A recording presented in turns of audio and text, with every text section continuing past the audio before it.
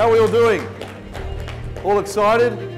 Good. Well, I am Luke Mangan, and hi, and welcome to the Inspired series. Today really is all about you guys. Hopefully, you are our next generation of our industry. I'm not going to lie, it can be a tough gig. The hours can be long, the money sometimes ain't great, but what I can tell you, it's an extremely rewarding career. Today, we're very lucky to have three amazing culinary leaders join us. And that's how I got into London by pure default. Got my job at the Hotel St George by default. Got my job at the Box Tree by default. Got my job at Gavroche by default. And had I not made all those mistakes and luck hadn't been on my side, I wouldn't be sitting here today. And so you have to take the knowledge out of each individual establishment you work in.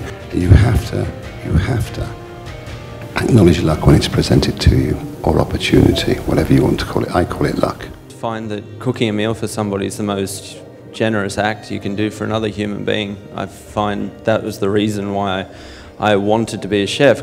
I think if you if you enter into somewhere running, um, it, it can sometimes get a little bit big on you. Try to take on uh, the basics first and then build upon it. Letting somebody else lead, I think that that's hard. We're called front of house, but I really think that we're the back of house. That willingness to take care of people and really show them a good time, be able to look after a stranger like they were your mom or they were your aunt or they're your grandfather. It's easy to like put a plate down in front of somebody, but can you give them a piece of yourself? And that's what I love about my job too. It's incredibly rewarding.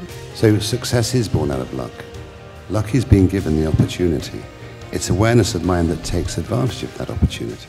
I hope you enjoyed your, a few moments with me because I've, and thank you for your respect and your patience. Thank you.